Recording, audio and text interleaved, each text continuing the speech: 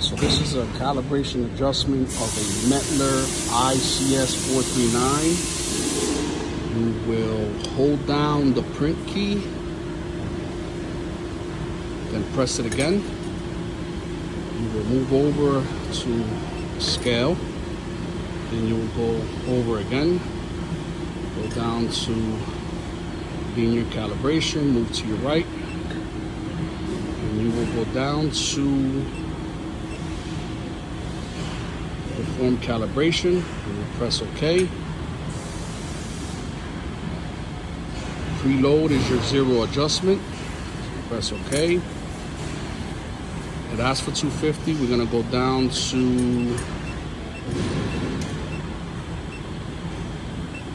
We'll do 50 kg. At this point, you apply your weight.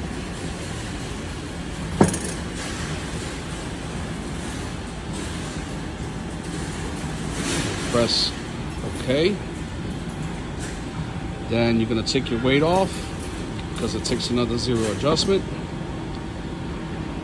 Press OK. And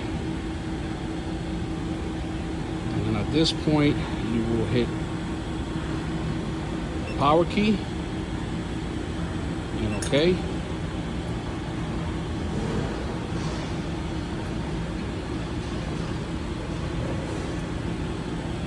Just one. And that is how you adjust the calibration of a Mettler ICS 439.